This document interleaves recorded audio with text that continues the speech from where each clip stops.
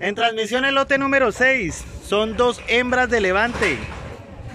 Peso total 500 kilos, promedio de 250.